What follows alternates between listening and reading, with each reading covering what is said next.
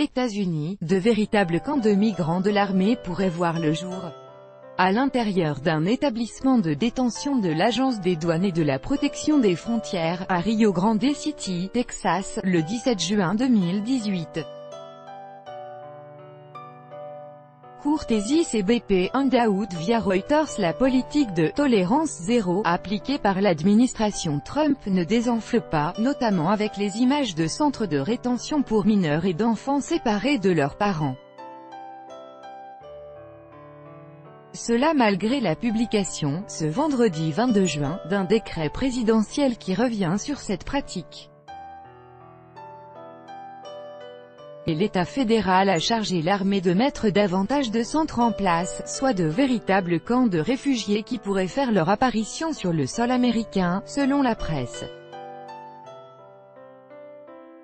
C'est la très sérieuse revue Time Magazine qui révèle l'affaire. Le magazine a mis la main sur un document interne de la marine américaine, qui va chapeauter la mise en place de ces nouveaux centres de rétention. Ce sont principalement des bases aériennes désaffectées qui devraient être utilisées. Il s'agit de pouvoir y détenir des dizaines de milliers de migrants supplémentaires à court terme. Ce document est une réponse à la demande de l'administration Trump qui a réclamé la mise à disposition de tout bâtiment pouvant être utilisé pour loger des migrants.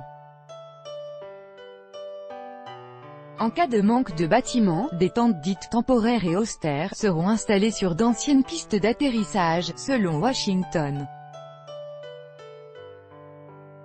Selon Time, chaque camp pourrait abriter 47 000 personnes dans ce document révélé par la revue Time, l'US Navy envisage de construire un camp pour 47 000 personnes près de San Francisco et un autre pouvant abriter le même nombre de personnes dans le sud de la Californie.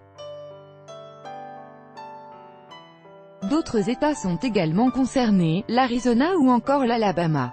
Pour l'instant, ce document interne n'aurait pas été validé, selon le Pentagone. Mais dès qu'une demande officielle sera effectuée, il pourra être rapidement mis en œuvre. Des camps qui serviront à la fois à héberger des familles de migrants, mais également des mineurs entrés sur le territoire américain non accompagnés. Ceci serait 20 000 à l'heure actuelle, un chiffre qui ne cesse d'augmenter, martèle la Maison-Blanche.